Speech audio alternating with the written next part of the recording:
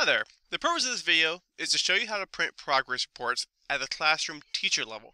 Before you print progress reports, you definitely want to check with your principal to make sure they're not printing them in the office. There are steps to do that and some teachers or some schools may elect to have it done that way. If you're printing them in your classroom, there are two ways you can do it. First, you can print them individually as we always have done in our classroom for our individual classes. Or second, you can print progress reports that show how students are performing in every class all in one fell swoop. Here's how. First, go to PowerTeacher Pro.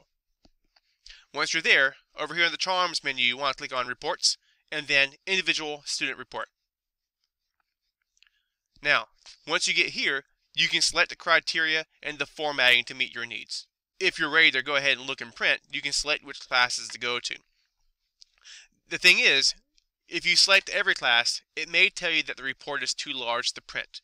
You can play around with that and find out what's best in terms of what meets your needs. What I'm going to do is I'm simply going to use this one class here. If you have a study hall or or a homeroom, you may also elect to print the reports in that fashion so that you can distribute it during those particular times. So, what you want to do is you want to make sure that the include students full schedule box is checked if you wish to include the full schedule on the report and print it one time. I want to demonstrate that first. What you would do then is make sure that the sort options are correct however you want and make sure that the information that's being shown is what you want it to be. Under data, areas to include, if you're sending a report that shows every class that a student has, then you'll want to make sure that you uncheck the assignments because if you do if you leave that checked then it's going to pull a list of every assignment that the students have had in the course which is going to end up making the report overwhelmingly large like seven or eight pages per student.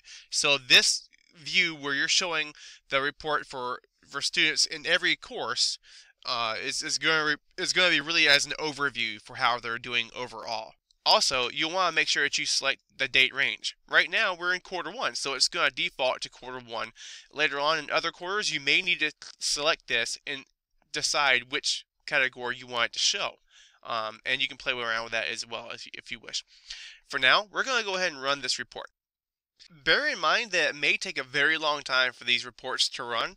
I'm not sure if that's associated with the timing or not, but just know that if you are running the reports, you may want to run them at the beginning of the day before, or maybe even a couple of days before we're ready to print them. Okay, so now we're going to go to the report queue and access the report we just printed.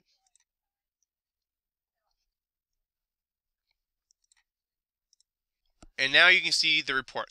Now here's the thing, is once you pull up this report, it's going to have four sheets of paper, or at least four sheets of paper per student. You can see the student's name up here, and you want to measure this, but in the, in the examples that I'm using here, it's showing that the progress report is four sheets once you factor in all of the classes. Now, this is for a high school schedule. If you teach elementary school, I'm not sure how long the report would be, so you'll want to know how many pages the report is for each particular student. You will need to save the report onto your desktop or onto your computer. You click the save icon. I'm going to save it to the desktop.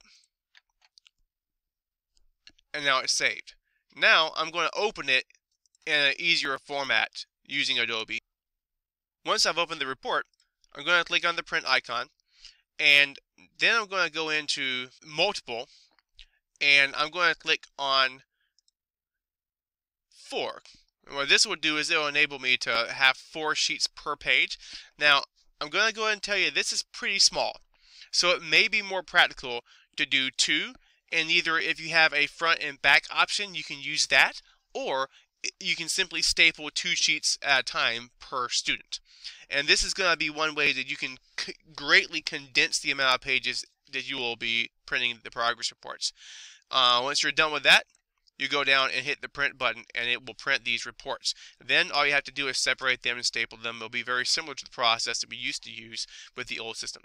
If you would like to run the individual progress report the way that you've always done it in the past with the old system, where you show just a more detailed look at your individual course, then make sure that you uncheck the include students full schedule box so it's only showing your class, and then scroll down here to where it says areas to include, and select assignments and then whatever else you want in terms of those assignment criteria.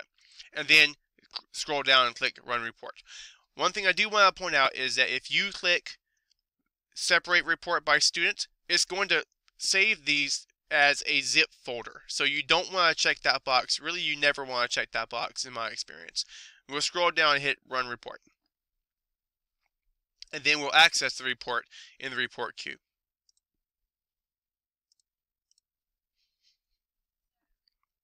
And there you have it. Now the report shows not only how the student is doing in a more overall view, but also individual grades and, and comments on individual assignments in your course. That's how you print progress reports.